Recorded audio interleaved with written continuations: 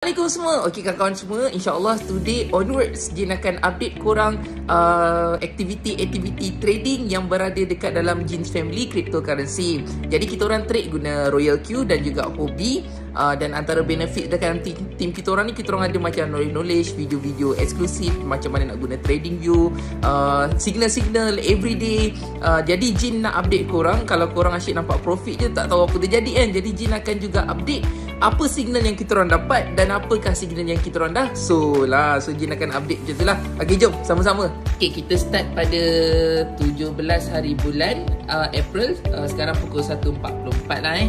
So ni kalau korang tengok ni ni signal semalam sebab ni 17 kan. Uh, ni semua signal-signal semalam 16 hari bulan, hari bulan 4 so kita ada mana USDT kita ada Algo Uh, yang ni ada update sikit dekat Royal Q. Jadi kita orang update dekat kita orang punya library group. Ada XTZ BCH And ni semua semalam ni 16 hari bulan. Uh, HBAR Kita ada XLM USDT Kita ada DOT. Ni semua cryptocurrency tau kawan-kawan semua. Uh, Lepas tu ni Jin, Jin selalu ada update lah Profit hari ni. Okay so sekarang kita stop dekat DOT. Okay jom kita tengok Berapa banyak coin dah close malam Okay so ni kita punya Royal Q. So dekat Royal Q kita ada Kalau kita tekan dia akan tunjuk lah Apa coin-coin yang dah close.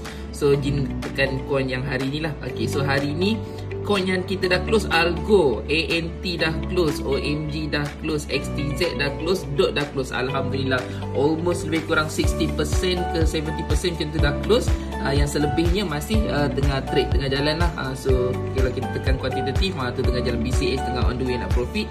Uh, mana tengah jalan, kita ada XLM dengan HBAR pun tengah jalan. Okay, so biar orang Yang penting kat sini, orang tengah jalan macam mana pun, orang tak boleh rugi. Sebab kat sini tak boleh MC. Uh, tu, best tu cryptocurrency.